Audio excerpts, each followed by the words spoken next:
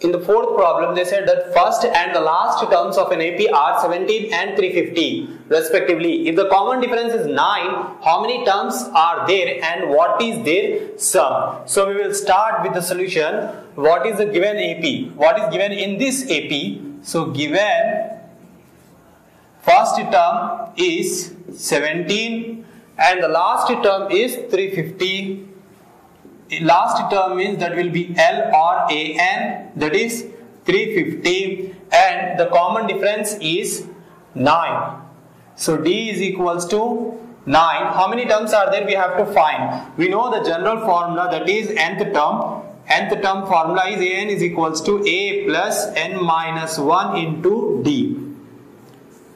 We will use the formula for finding the number of terms. AN is 350 is equals to A is 17 plus n minus 1 d is 9 17 goes to that side 350 minus 17 is equals to 9 into n minus 1 if you subtract 10 minus 7 that will be 3 and 4 minus 1 is 4 minus 1 is 3 so triple 3 is equals to 9 into n minus 1 9 comes down so divided by 9 is equals to n minus 1. So 3, 3, 3 za, 3 1 za, 3 1 za, 3 1 za.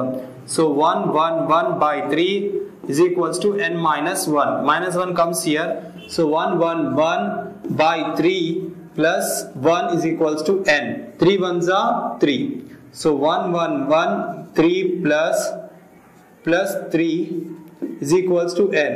So that will be 1 1 4 by 3 is equals to n. 3 1s are 3 3s are 9. So 3 3s are 9 means 2 will be left. 3 8s are 24. So n is equals to 38. Then next we have to find the sum. Sum formula is Sn is equals to n by 2 a plus L. So Sn, n is 38, n is 38 by 2. What is A? A is 17 plus last term is 350. The next two ones are two 19s are. The next 19 into 7 plus 0, 7, 1 plus 5, 6, 367 into 19. So 367 into 19. 9 7s are 63. 9 6 are 54. That will be 60. 9 3s are 27 plus 6 33. 1, th 1 7 is 7, 1 6 is 6, 1 3 is 3. 3 7 9 6. So 6 9 7 3